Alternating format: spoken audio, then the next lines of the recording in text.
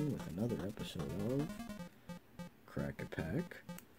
Today we will be exploring the world of Roaring Skies again.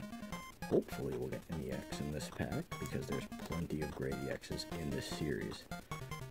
Again, the reprint of these made them a lot easier to get.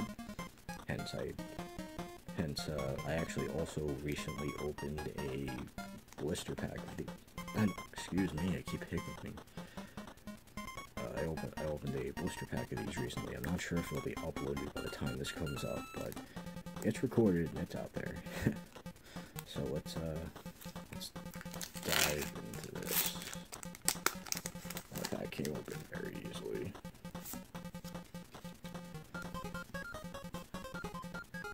Two, one, two, three, one, two. There we go. Dunsparce, a Winrow, Dratini, Electrike, Swellow, Metric, Mega Turbo is an awesome card to pull, Tropius, Exeggutor, and a Victini regular rare. That's not an awesome card to pull. But unfortunately, it's how the cookie crumbles sometimes. Thank you for tuning in for today's video.